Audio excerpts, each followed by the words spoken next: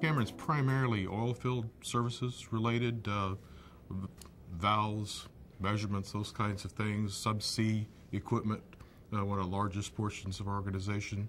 The division I'm with, uh, the compression systems, uh, uh, builds centrifugal and reciprocating compressors uh, for both factory and oil field related services, large scale compressors.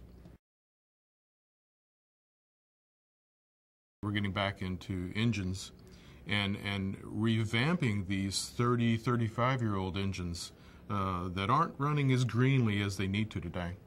Uh, so a large part of our business uh, today and, and hopefully all into the future is uh, greening up those, uh, those engines, making them meet the more stringent uh, emission specs that we have to meet today. And, and, and, we justified quite a bit of growth of ANSYS and some of the other analysis tools, certainly HPC systems, the clusters were brought in, uh, in that new growth that we have in that, in that part of the business. Um, it's allowing us to, to learn things about a lot of those old designs that we had no idea were going on uh, during combustion and during the cooling of the gases. Uh, analysis that we're doing today are teaching us a lot about our old designs and how to improve them, make them more efficient.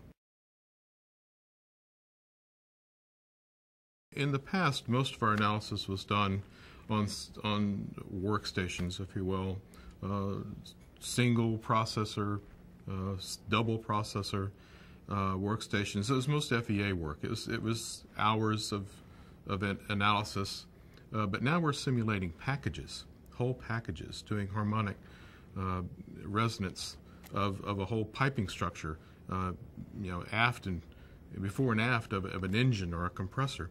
So it takes an awful lot more time to to process those jobs. And, and, that's where HPCs have made it doable for us. In the past, we didn't do it, it was just, just too time consuming. So if you throw more computing power at it, you get results quicker.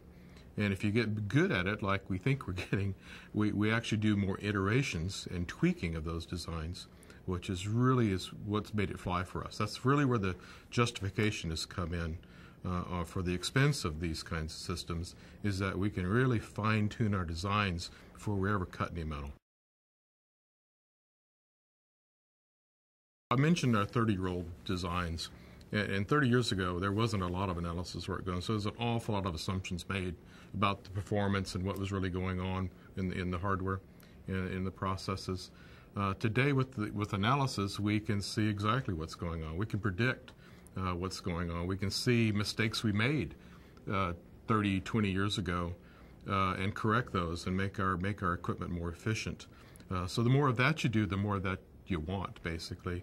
And and realistically, our customers expect that these days.